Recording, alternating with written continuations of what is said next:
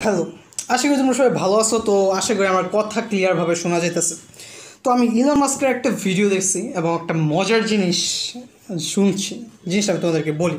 দেখো, বর্তমানে আমরা অনেক ধরনের গেম খেলি। কী কী গেম আছে? সাবওয়ে সার্ফ খেলি ক্ল্যাশ অফ ক্ল্যান্স খেলি, তারপর আমরা মোবাইল লেজেন্ড ব্যাং ব্যাং ব্লা ব্লা ব্লা অনেক অনেক গেম আছে। তো গেমগুলা প্রতিনিয়ত আরও ভালো হইতেছে। যেমন এটা হইতেছে একটা উদাহরণ, তোমরা জাস্ট দেখো একটু। তো, এখন আমি আর কথা বাড়ালাম না।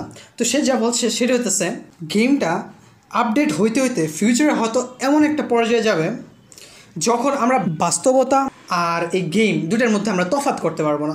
আমরা গেম খেললেও আমাদের মনে হইতে পারে এটা বাস্তবিক, এটা ফিউচারে হবে। হুম, তো এটার কি কোনো গ্যারান্টি আছে যে এই বিষয়টা আগে হয়ে গেছে না? হইতে পারে অনেক আগে একটা গেম তৈরি হয়েছে এবং গেমটা এত রিয়েলিস্টিক হয়ে গেছে যে আমরা ওই গেমটা খেলা শুরু করলে বাস্তবতা এবং গেমের মধ্যে কোনো তফাতি খুঁজে পাই না। এবং হইতে পারে আমি আর তুমি এখন বর্তমানে ওই গেমটাই খেলতেছি। কিন্তু আমরা গেম শুরু করে ভুলে গেছি আমরা যে আগে কী ছিলাম। হয়তো এই গেমটা শেষ হলে আমরা আবার ওই জায়গায় ব্যাক করব এবং বুঝতে পারব, ও, আমরা একটা গেম খেলছি এতদিন।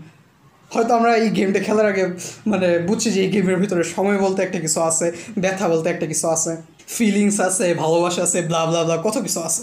একবার মানে ফিল করছ জিনিসটা, যে তুমি একটা বডি এটা হয়তো তুমি চুজ করছ, এখানে আসার আগে যে আমার এই টাইপের বডি চাই। কেন করছ এটা আমি জানি না।